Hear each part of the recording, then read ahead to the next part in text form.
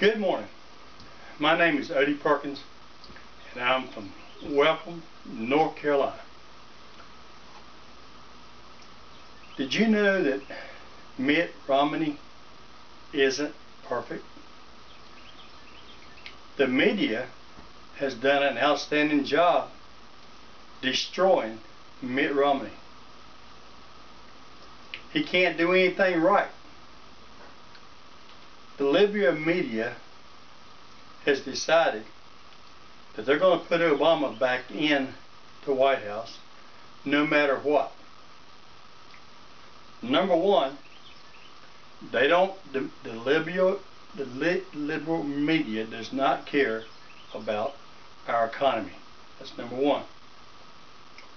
Number two, the liberal media doesn't care about what's going over over over in the Middle East.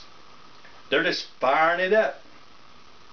And they're just showing more and more about the Muslims protesting. It's okay for the Muslims to take our wonderful flag, or Israel's flag, or any other nation's flag, and burn it. But if I took a Muslim flag and I burned it and I stomped it and I said that Muhammad or whoever his name is could go to hell, what would they do to me? They'd be angry. You know what? Let me tell you Muslims something. I lost my son. He fought for you. He fought in Iraq. He fought in Afghanistan. He was in the U.S. Army 82nd Airborne and he's in heaven now. But he fought for your freedom. What did the liberal media do? Not one thing. They've never, never wanted someone, not a Republican, not a Democrat, they've never wanted a man a businessman in the White House because they do not want it corrected. Until we get someone like that, America is headed for destruction. You know what? You can tell me they're not. You, I have not every one one time. I've never drawn uh, any kind of check of disability. I've never drawn an unemployment check. I've never drawn any kind of check. All I've ever done is work my ass off all of my life. So if you want to vote for Obama, and I'm from the South, I'm proud of it, but I do at least know what businesses are supposed to be run like, run, run like because I work for some of the finest people in the world. But if you keep on believing all this bullshit that Obama and the class warfare that he's putting out there, every one, every last one of you, whether you're educated or not,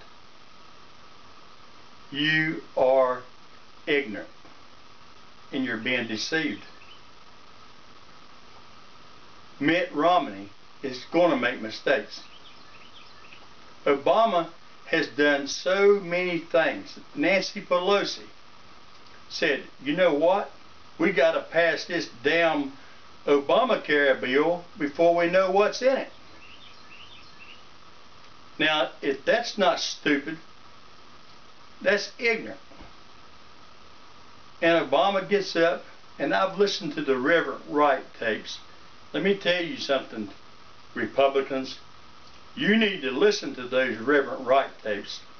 They talk about Hillary Clinton like a dog. He does. Like a dog.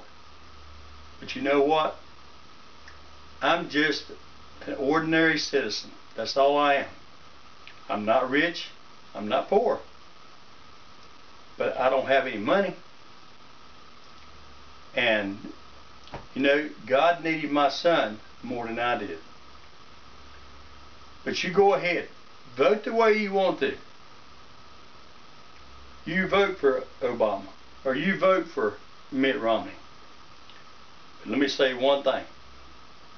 I don't want to hear not one word out of anyone when the new president goes in for the second term in this economy or the crisis overseas in the Mideast or our ally that we have always been been there for us, Israel, when all the whining and all the crying and all the bitching starts because we got a freaking mess. And this little tiny video that they say started this, well, let me tell you something. This is a video. So let me tell all you radical Muslims, there is good Muslims all over the world. I want, I want to make sure I say that.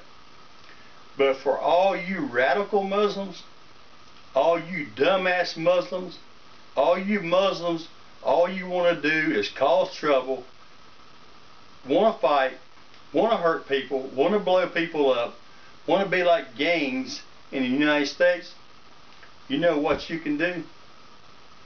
As Doc Holliday said, one of our Western old cowboys, you can kiss my ass because I love America. I love what she stands for. God bless America. In God we trust. And that's all I got to say.